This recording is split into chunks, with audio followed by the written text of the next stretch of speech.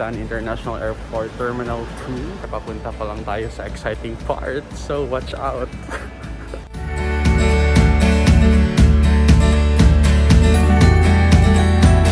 yeah, so we have finally checked in. I'm so excited. Like after two years plus, it feels like this is my first time to ride an airplane again. It feels great.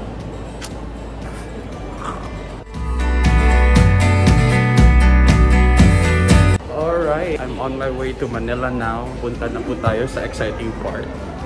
Ticking one of my goals in my bucket list. Yeah. What's up everyone? Finally here at the plane on our way to Manila. What's up?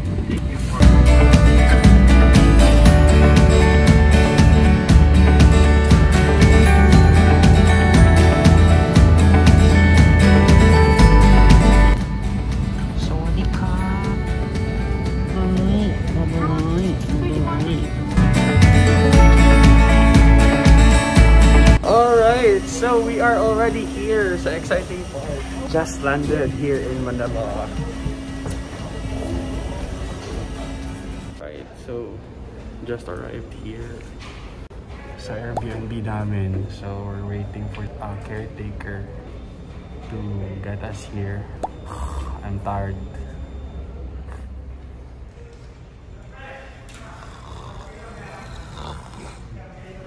Gala pa more.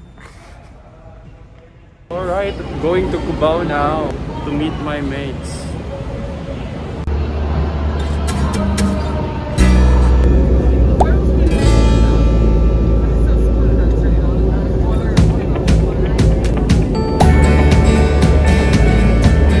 Just arrived here at Gateway. We're looking for Gilligans. What's up everyone? So I am with my workmates here, yeah, from Manila. Say hi to my vlog. Oh. Hi, vlog! my favorite, my favorite co-host, so DJ sa Hello, podcast. everyone! One, one! Ayun! So saan tayo pupunta? Ano? Mag-Starbucks tayo kasi we're. Ilan yung nagastos mo dun sa ano, sa Gilligans? Wala. Wala akong nagastos kasi binayaran yung fees Ah, that's why we're rich kasi may tagagastos kami. so, uh, manifesting thank you po in advance sa Starbucks Philippines. Wow, abusado yan. Naka-live ka ba? Hindi. Video lang to. I-edit ko pa to. Sorry, dapat lumipat ka na Cebu. Sorry. Alam mo, dapat Nagkaso niloko ako. So, ayun. Sorry na. Bakit ka niloko? Kasi nagpaloko ka din. Hoy, hindi lahat ng nagpa naloko, nagpaloko. Option lang, ay, hindi option. Hindi, hindi ka choice yun.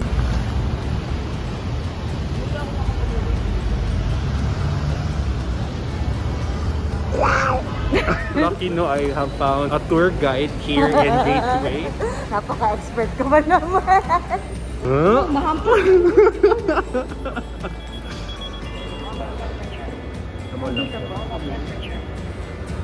Pag sumakay ka dyan sa elevator, Accenture. Ah, so dyan ka na ano? Dyan ka na stop? Oo, sa sa 21st floor. Oo. Saka ako sa e- fire exit. Si Kim, si Kim yung nag-rescue sa akin. Oh, si Kim na taga Cebu pa. Yeah. Naghanap ng tulong sa Manila. Yeah, tinawagan niya pa si Janet Perez. So, shout out kay Janet. Thank you very much. And here is the gateway mo. Oh, bakit ka kasi gateway? Hindi ko rin. May daan sa gate. Siguro, ganun yun. Di ba kaya may gate to, to close the way? Huwag pag-Englishin na kapahiya tayo. Ay. si Zari kasi yung ano, tour guide ko daw kasi siya. Tinur niya kung saan siya na-stop. Yeah, tuwa ka dyan sa Oo. Palibasa, hindi ka pa. Ito na si Far Exit Queen eh. Ayan, so we are here. Di ka naririnig. Nakasama mo boses mo. And we are here! So we're going to Watson's right now. Tignan natin sa what? Magsha-shopping spree Ay, mali tayo. pala ako sa taas. Ano ba yan? Mali siya. Ano ba yan? Sabi ko kay Win, dito lang sa gilid. Hindi, ito lang off, off lang. Ayun tara. So nang dahil dyan, Zari, ililibre mo kami ng Watsons. Uy, hindi ko kayo bumili ng Watson. Ayun na, oh. So, we can get anything we want and then si Zari na yung magbabayad. Thank you, Zari, kasi meron siyang ano. Uwi ka na sa Cebu. Uwi ka na sa. Cebu. Hindi- ko na siya sugar may, baby ko. may Christmas bonus na siya, may 13th month. Thank you, Tita Julie. Nag-resign pala. What's up everyone? So I'm on my way sa pinaka most, pinaka tapos most pa na exciting part dito sa aming Manila trip. So watch out later. Itutour ko kayo? Itutour. I'm so excited. I can't wait no, to experience this one since it's really one of my goals in my bucket list. And right now, I'm about to experience it personally, and I can't wait. I'm so excited. oh my goodness! Here we are sa pinaka exciting part ng aming Manila trip. We're here at the Volleyball Nations League.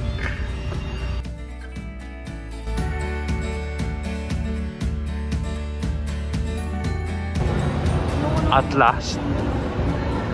Haha, it's getting real. What's up everyone? So, nandito na po tayo sa most exciting part. It's one of my goals talaga to watch international volleyball personally, like face to face. And it's happening now. And I'm so excited, I can't wait. Yes! I'll be watching Bulgaria versus Belgium, USA versus Thailand, and China versus Japan. Actually, the game is already starting. So, game one. Uh, this is it. Vienna. It feels so great na dati I just watched this on national TV, on YouTube, and but right now I'm able to be here to watch it live personally. Yeah, I feel so excited. Oh my god. Picking goals.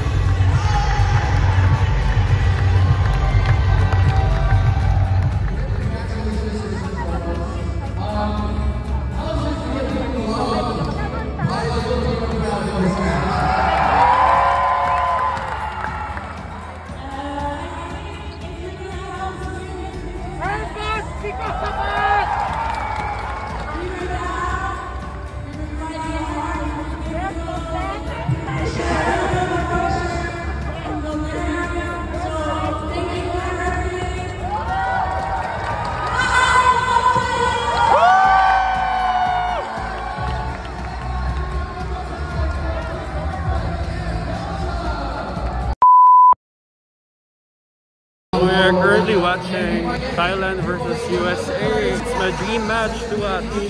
Finally, it's happening.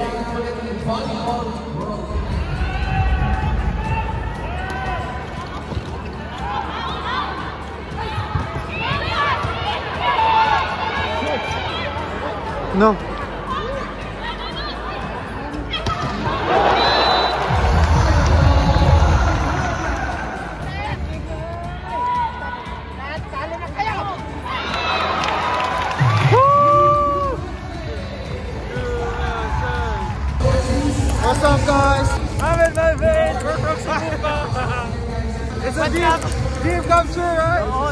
What's up mga vlog? Ay, what's up mga Bisaya? Lagi mo, mga picture. USA!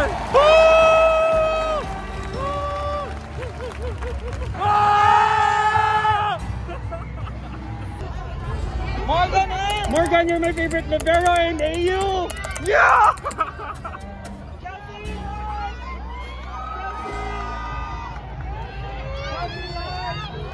Oregon! Oregon! I'm Oregon! Oregon!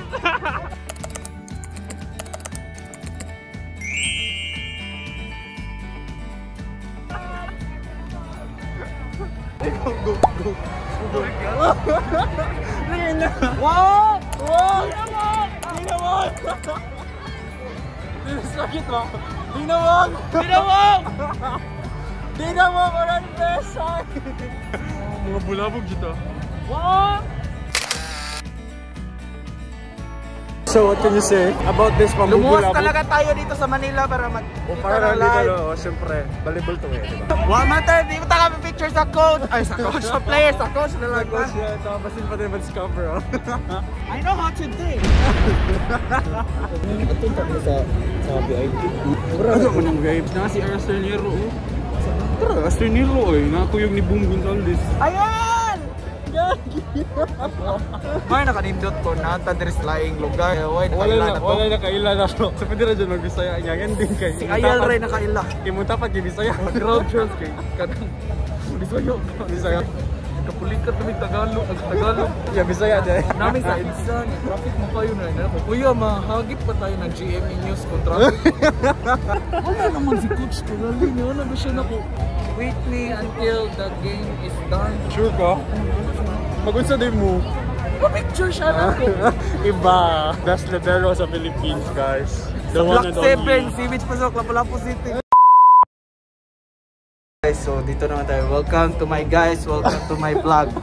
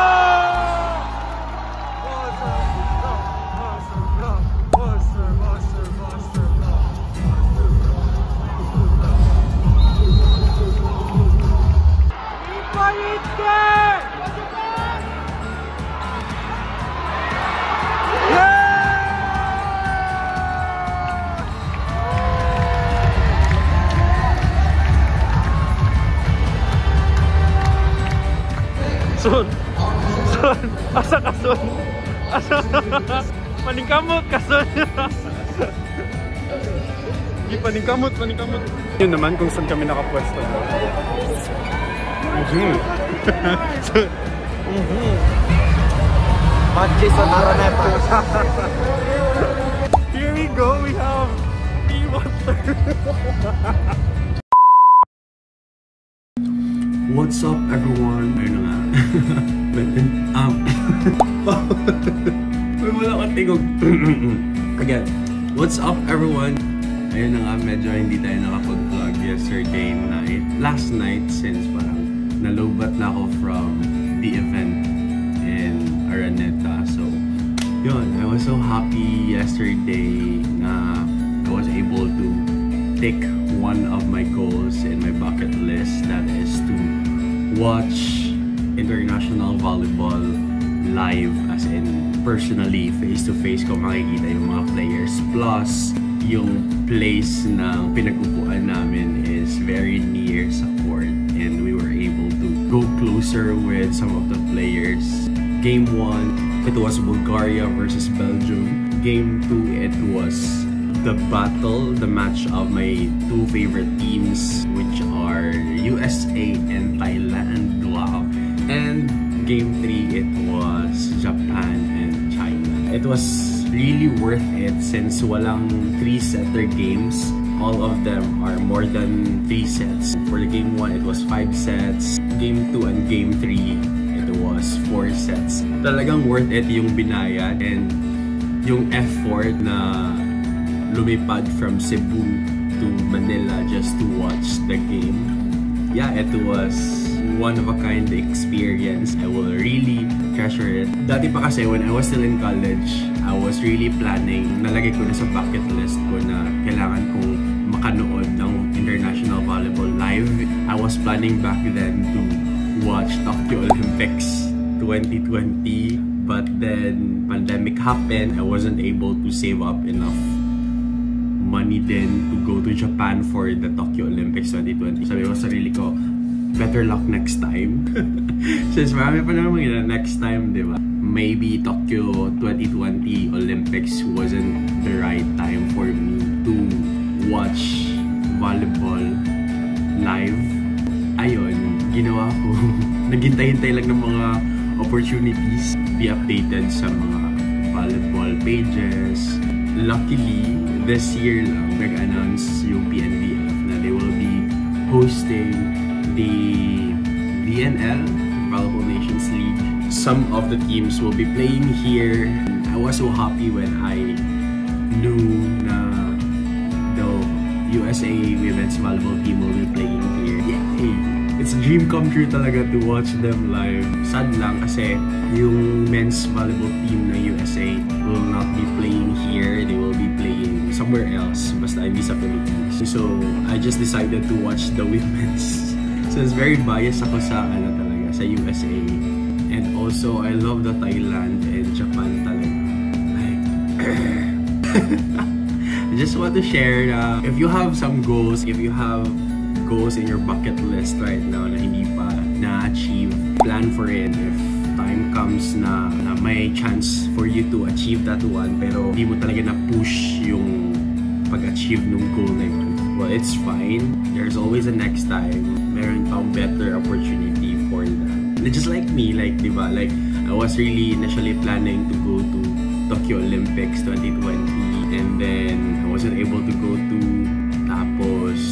ayun, ito, dito sa VNL, dito na sa Pilipinas so parang nakasave pa ako ng money, di ba? Lumipad lang from Cebu to here kasi naman lumipad ako from Cebu to Japan, di ba? Like it's way, way, way more costly than flying here to Manila. Alright, so shout out sa mga volleyball fans dyan, mga adik sa volleyball. I don't know anong meron sa volleyball pero talagang nahuhook talaga ako. Maybe it's because team sports kasi siya so you have to communicate with your teammates in order for you to win a point. So, off to my next goal which is to watch the USA men's volleyball team live. I don't know kung kailan yan pero I'm sure I achieve that. Claim that's it, no? So if you're new to my channel, since my channel is still new, please subscribe, support me with this one. if you like this video, hit the like button. You may share this one, especially if you're a valuable fan, diba? Alright, that's it guys. Once again, this is Kim Motivates. Bye!